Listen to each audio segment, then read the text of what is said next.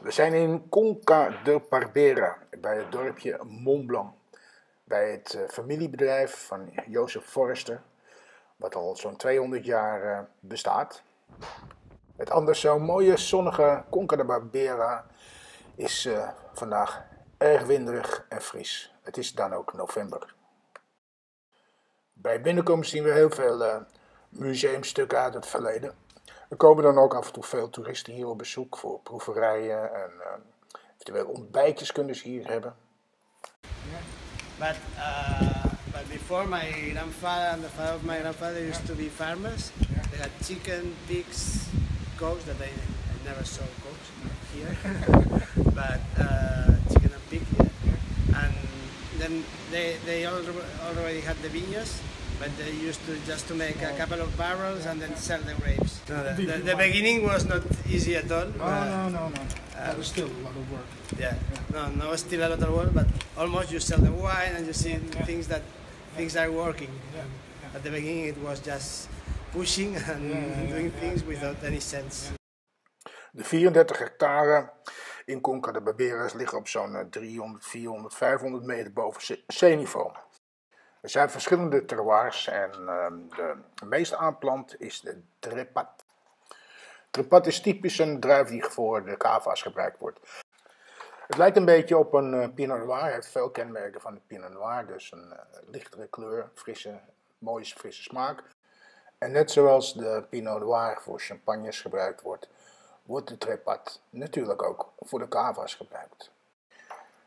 Richard Sebastia wil echter meer voor de Trapat. Hij wil uh, de Trapat zijn verdiende aandacht geven als stille wijn, in plaats van een volledige opname voor de cava-producties. De oogst wordt helemaal handmatig gedaan, met kleine kratjes. Uh, het is verder helemaal ecologisch. Veel prijzen worden er gewonnen, gouden medailles, zilveren medailles en hoge waarderingen.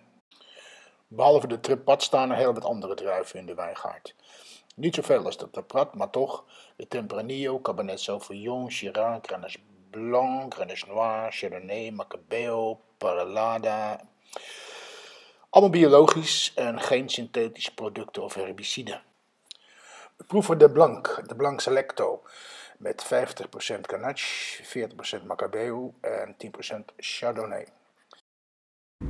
This is Macabeo from one vineyard, 50 years old. Wijn is vol, romig, complex, eh, de aroma's, veel wit fruit.